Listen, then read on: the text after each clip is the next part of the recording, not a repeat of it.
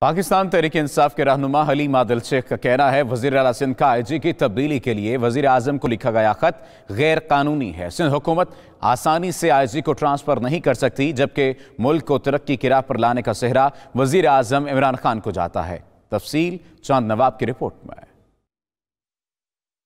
P T I رہنما حلیم عادل شیخ خوب گرجے اور برسے کراچی میں پریس کانفرنس کے دوران سندھ حکومت کو آڑے ہاتھوں لیا اور آئی جی سندھ کی تبدیلی کے لیے وزیر اعلیٰ سندھ کی جانب سے وزیر اعظم عمران خان کو لکھے گئے خط کو غیر قانونی قرار دیا۔ آئی جی کی تبدیلی کے تین نام بھیجنے کا اختیار فیڈرل گورنمنٹ کا ہے، تو ہم فیڈرل گورنمنٹ کے فیصلے کا انتظار کریں گے۔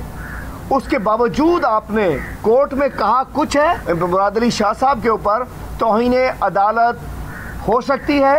اور انہوں نے توہین عدالت کی ہے۔ عدالت میں کچھ کہتے ہیں یہ بوکھلا گئے ہیں۔ حریم عادل شیخ نے کہا کہ گورنر سندھ بے شک چپڑاسی بھی تبدیل نہیں کر سکتے لیکن سندھ حکومت بھی آئی جی سندھ کو کہیں نہیں بھیج سکتی۔ شاید گورنر صاحب کسی چپڑاسی کو بے شک ٹرانسفر نہ کر سکتے ہو لیکن آئی جی کو آپ بھی ٹرانسفر نہیں کر سکتے۔ گورنر کہہ رہے چپڑاسی بھائی چپڑاسی آپ کیجیے یہ آپ کو دیا آپ کا مینڈیٹ ہے جائیے آپ جانے چپڑاسی جانے کیجیے ٹرانسفر۔ لیکن آئی جی کو آپ بھی ٹرانسفر نہیں کر سکتے۔ پی ٹی آئی رہنما کا کہنا تھا کہ چودھری شوگر مل سمیت دیگر ذرائع سے پاکستان کو لوٹا گیا۔ حلیم عادل شیخ نے سندھ حکومت کو اپنے پیسوں سے بے نظیر کارڈ جاری کرنے کا مشورہ بھی دیا۔ پیپلز پارٹی کی سندھ میں حکومت بے نظیر بھٹو شہید کے خون کے صدقے میں ہے۔ تو بی بی کا صدقہ دے دو جاری کر دو ایک بے نظیر کارڈ۔